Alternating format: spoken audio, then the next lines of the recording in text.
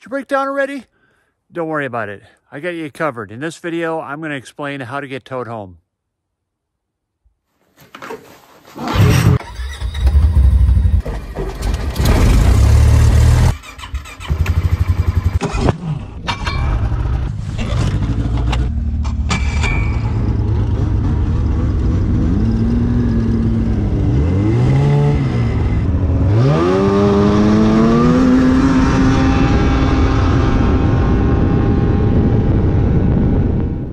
Right, so here we are. We've got our tow snowmobile, the tower, and the towee. So in this case, both of these are are fine. There's nothing wrong with them, but we're going to use this as the, you know, let's say this this snowmobile has been broken down and I needed to get it out, you know, maybe we're in the woods someplace or, you know, I need to tow it home or I just need to get it unstuck or something. So before you tow a snowmobile, you always want to disconnect the belt. Okay, take remove the belt.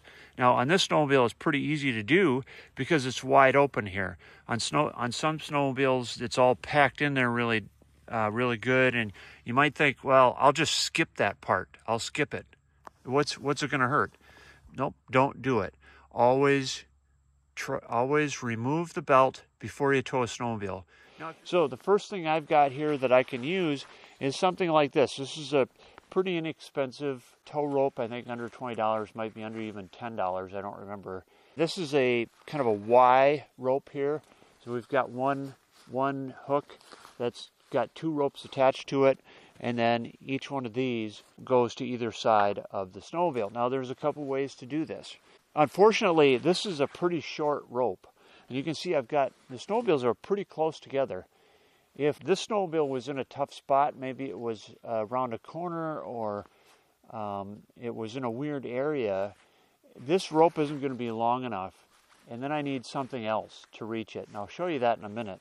But the first thing, first thing you got to do is what I would do is attach it to the lead snowmobile, get the snowmobile close enough, and then when you attach the rope to the snowmobile, you don't want to, you never want to attach the ski loop. This is plastic and it's not going to withstand the force of pulling a snowmobile. This is not that strong. So what you do is you wrap it around the ski spindle or hook it to the ski spindle. So now I've got a good, I've, it's all steel, I've got a good surface to actually connect to. So I'll do that on both sides.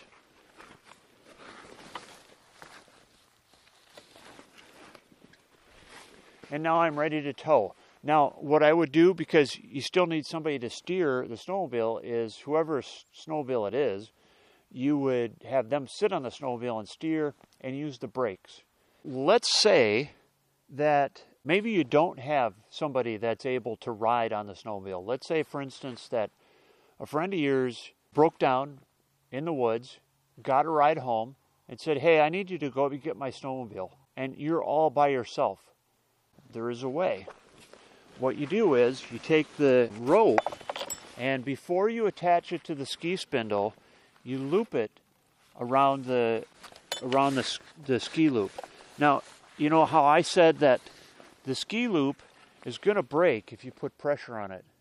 But right here, I'm putting I'm putting a little bit of pressure on it, but most of the pressure is coming is is being applied to the steel the ski spindle where it's the strongest. Now you've got control of the steering. So when the snow you, the tow snowmobile turns, the snowmobile being towed will also turn. So this is a handy little trick to know if you're towing it by yourself. Even if you're, you know, with a buddy, maybe you want to do it this way just to kind of keep things under control. All right, so let's say, for instance, that you either have a rope of some kind, you don't have one of these types of tow ropes, or this is too short. There's another way.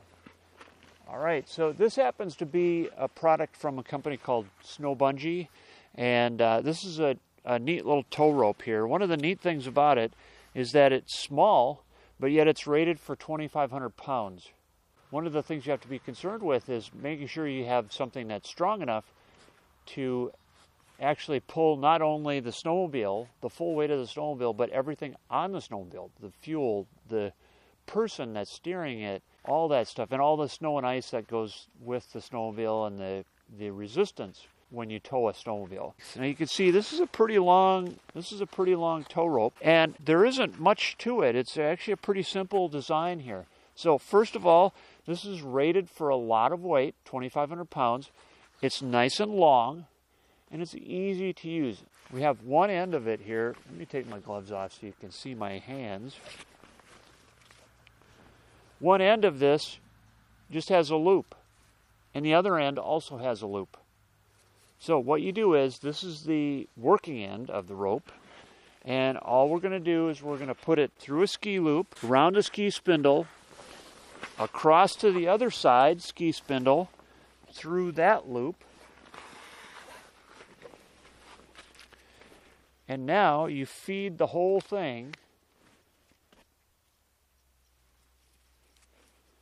right through there like that, just like that. Now you take this end here, and what you need is something, a carabiner or something. I looked quick, and I oh, this is the only carabiner that I found that would be worthy of pulling something, but I don't. I guess I would use a, a heavier duty one of these for simplicity's sake. I'm just showing you this. All right, so get something that's rated for this type of, uh, of weight. So all I'm going to do is, is hook to that loop and then hook to the snowmobile like that. Now I'm ready to tow. You don't need to put it through the ski loops. You can just wrap it around the ski spindles. That's the strongest part of the snowmobile and it will pull just fine. Like I said, if you have somebody that will steer, the the best thing to do is just leave the ski loops out of it. Wrap it around the ski spindles the spindles, and just pull it that way. With this type of uh, setup, that's probably the best thing to do anyway. So really, it's that simple. You just want to to wrap it around the ski spindles for the vehicle that's being towed, find some way of attaching it to the tow snowmobile, and you're set to go. What you want to do when you're towing is be nice and smooth. Don't take off in a rush. No jerking motion and you want to be very predictable. So if the person in back doesn't know you're stopping, you're going to run into each other and, you know, that's bad. So you want to you want to make sure that you're predictable that when you come to a stop that you're doing so nice and slowly so that the person behind you has a chance to use the brakes. And the same thing when you take off. You want to take off nice and slow. Make sure that you have good tension on the rope and always be nice and smooth. All right? Hey, I hope that helps beginners, and I hope I see you on the trail.